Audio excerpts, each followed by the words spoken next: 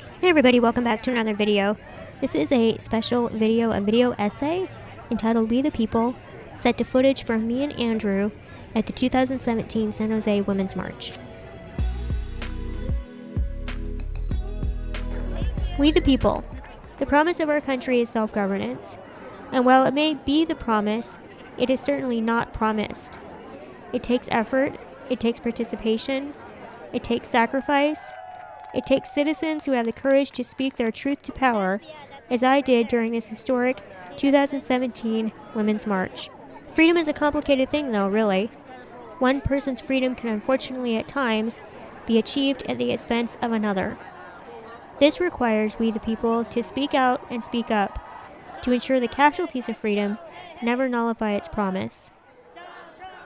Women's rights, LGBTQ rights, voting rights, disability rights, income inequality, healthcare access, immigration, and climate justice all have inextricable consequences for the freedom of tens of millions of Americans.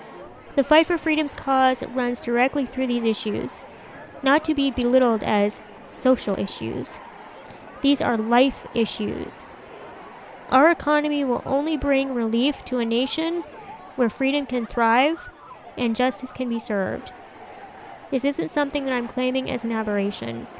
History teaches us that nations can crumble if they dare to disregard such issues.